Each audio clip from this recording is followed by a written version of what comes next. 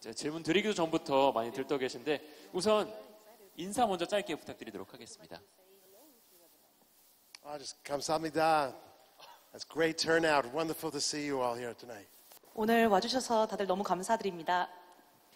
그리고 사실 기자분들이 미리 질문을 많이 주셨는데 저희가 그 중에 몇 개를 제가 바로 옮겨드리도록 하겠습니다. 이 먼저 엑스칼리버의 음악적 특징이 켈틱 음악과 유럽적 색채를 담을 것이다. 이렇게 소개를 해주셨는데 그렇다면 엑스칼리버만의 음악의 매력 무엇인지 간략하게 설명 부시도록 하겠습니다.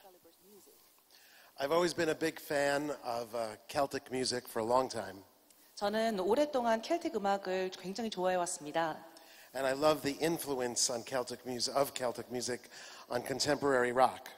그리고 켈틱 음악이 컨템퍼러리 락에 주는 영향을 언제나 좋아해 왔습니다. Some great examples of that are the group The Chieftains, The Script, and of course U2. 이제 치프스턴, 스크립트 그리고 U2가 그 좋은 예인데요. Um, the use of the, the Celtic sounds, the Celtic flutes, the, the drums, and things like that, it puts us in a place and it puts us in a time. 이제 켈틱 사운드, 켈틱 플룻과 그 드럼이 우리를 딱 그 장소, 그 시간으로 데려가게 됩니다. And Koen Schoots, the maestro, the wonderful arranger, he did such a great job in taking all of those colors and then containing that and putting that into a modern pop rock sound. 그리고 정말 너무나도 훌륭하신 마에스트로이시자 편곡가이신 쿤 선생님께서 이것을 굉장히 모던한 팝 켈틱 사운드로 만들어 주시는데 큰 애를 써주셨습니다. Which is conducted so beautifully by Miso every night. 그리고 매일 저녁 원미설 감독님께서 너무나도 아름답게 지휘해주고 계십니다. 그 또 많은 분들이 궁금해하시는 게 사실 이번에 작업을 해온 한국 배우들이 사실 좀 낯이 익습니다. 아더 역의 뭐 카이, 김준수 씨를 비롯해서 계속해서 한국 배우들이랑 작업을 했는데 이번 작업을 통해서 뭐 김준수 씨라든지 카이 씨라든지 특별한 배우 역에게 매력을 느낀 부분이 있다면 뭐가 있을까요? I've been very lucky and honored to work with so many of the actors and musicians doing this show for many years now in many of our adventures. 이제 저는 굉장히 운이 좋아서 그리고 감사하게도 이제 많은 배우들과 많은 재능 있는 뮤지션들과 함께 작업을 해왔습니다. And in fact, uh, for Junsu, who I call my Korean brother, this is our fourth collaboration together. 그리고 제가 나의 코리안 브라더, 한국인 동생으로 부르는 준수 씨와는 네 번째 콜라보레이션입니다.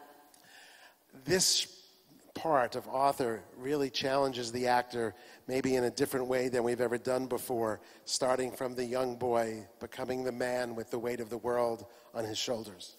아더 역할은 그동안 함께 작업해왔던 다른 배역과는 다르게 굉장히 힘든 배역인데요. 어린 소년에서부터 남자로 성장하고 그리고 온 세계의 짐을 어깨에 다 안고 있는 성인으로 성장하게 되는 이야기입니다.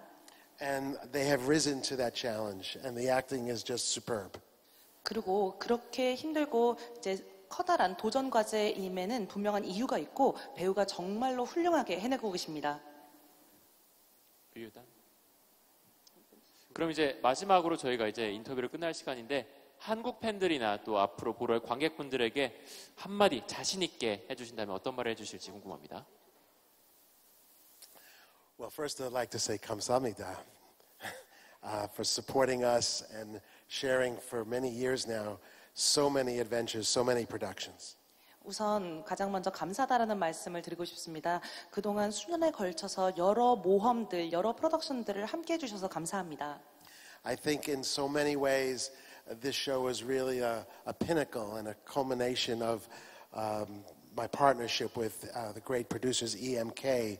And I think what uh, audiences will see and hear and experience will be a, a once in a lifetime kind of thing.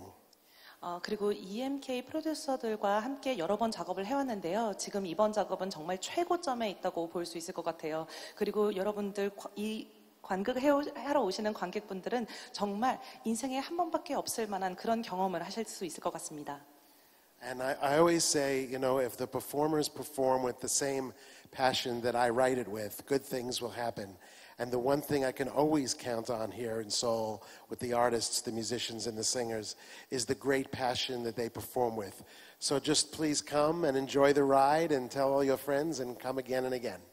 그리고 제가 작곡을 하면서 쏟아붓는 열정만큼을 퍼포먼스를 해주시는 분들도 그만큼의 열정을 쏟아주신다면 정말 믿을 수 없을 만한 경험을 하시게 될 건데요. 한국 서울에 있는 많은 배우들 그리고 많은 뮤지션들의 정말 강점은 정말 온갖 열정을 다 쏟아주신다는 겁니다. 그렇기 때문에 보러 오시면 정말 후회 없으실 거고요. 꼭 보러 오시고 보셨, 보시고 즐거우셨으면 소문도 많이 내주세요. Thank you so much, and a special thank you to Misol and that orchestra down there in the middle of the afternoon playing so beautifully.